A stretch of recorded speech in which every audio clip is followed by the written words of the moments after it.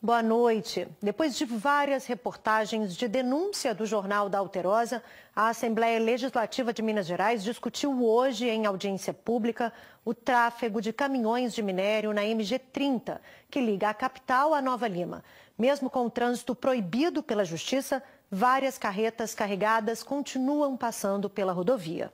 Sinceramente, Deus tem nos protegido imensamente por não termos ainda um acidente grave, porque é, diariamente temos possibilidade disso acontecer. A fala do senhor Milton, morador da região de Nova Lima, ilustra o medo de quem passa pela MG 030, principal rodovia que liga a cidade a Belo Horizonte.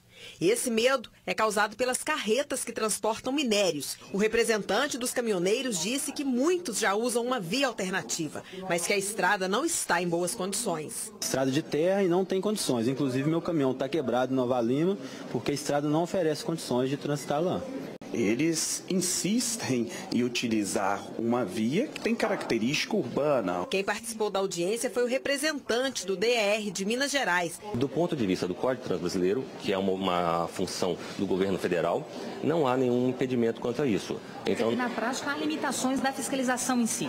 É, nós temos que trabalhar conforme a lei. E, do ponto de vista legal, a atividade é regular. Desde novembro de 2014, carretas começaram a descumprir o termo de ajustamento de que limitou um outro trajeto para o escoamento do minério na região. A TV Alterosa registrou em diversas reportagens essas irregularidades. Nós estamos seguindo essa carreta que está bem à nossa frente, aqui na MG30, a pelo menos 3 quilômetros. Bem na frente tem um posto da polícia. E a gente vai continuar a nossa missão para saber se o veículo será ou não fiscalizado.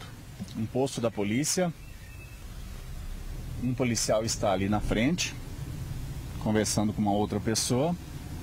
E infelizmente, mais uma carreta passou e não foi fiscalizada aqui na MG30. É, o nosso interesse não é o de, de barrar a atividade minerária, mas os moradores têm que ter um pouco de sossego.